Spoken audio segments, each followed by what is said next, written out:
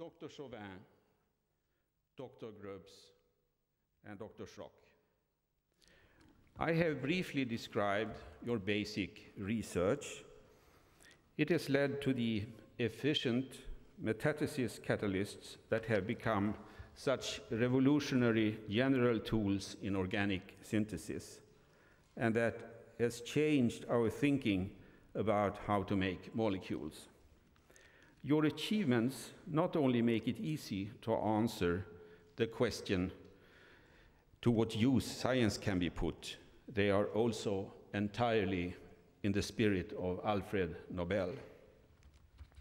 Je vous prie, messieurs, d'accepter mes félicitations les plus chaleureuses ainsi que mon appréciation les plus profondes de vos travaux. On behalf of the Royal Swedish Academy of Sciences, I wish to convey our warmest congratulations to you, and I ask you to step forward to receive the Nobel Prize from the hands of His Majesty the King.